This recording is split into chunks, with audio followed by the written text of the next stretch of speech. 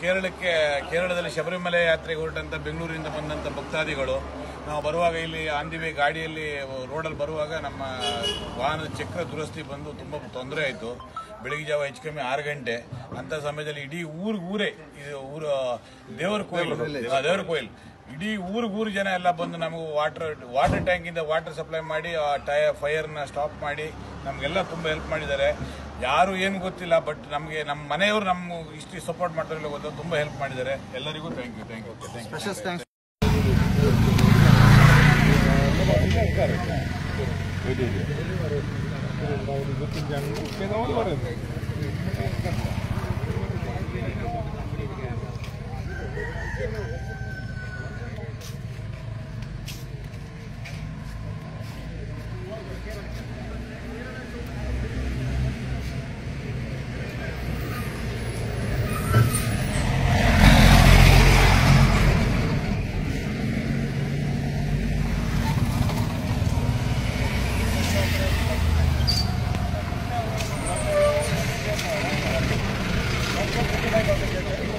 മനസ്സിലാക്കും